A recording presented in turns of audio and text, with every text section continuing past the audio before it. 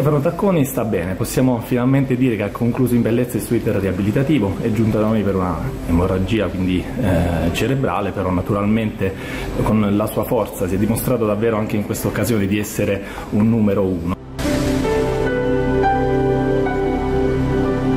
L'ex portiere della Juventus e della nazionale italiana di calcio Stefano Tacconi è stato dimesso nelle scorse ore da casa sollievo della sofferenza di San Giovanni Rotondo, dove era stato ricoverato il 21 giugno scorso per proseguire il suo lungo iter riabilitativo a seguito dell'emorragia cerebrale che lo aveva colpito nell'aprile del 2022. Prima di partire in compagnia della moglie Laura e del figlio Andrea, Tacconi ha incontrato tutti gli operatori in servizio dell'unità di medicina fisica e riabilitativa, intrattenendosi a salutare medici, infermieri, fisioterapisti e personale sanitario. Stefano è un uomo forte, ha spiegato il primario Domenico Entiso. Ha affrontato il percorso riabilitativo con tanta tenacia, è stato da stimolo ed esempio per gli altri e i risultati si sono visti. Ha colto sempre di buon grado anche il fatto che molti si avvicinassero per delle foto con lui o per scambiare due chiacchiere, ha sottolineato Michele Gravina, medico fisiatra che lo ha conosciuto molto bene in questi mesi. Un paziente forte, un paziente forte, eh, collaborante a tratti, però naturalmente considerato un po' la sua situazione generale, ci aspettavamo ogni tanto degli alti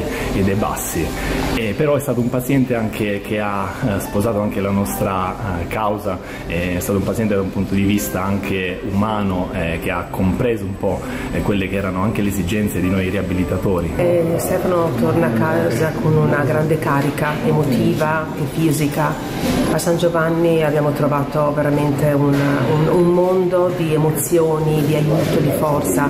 da parte dei dottori con la scienza, da parte del, della fede con Padre Pio che come sapete siamo molto molto devoti e, e insomma ce l'abbiamo, torniamo a Milano con, con tutto questo nel cuore.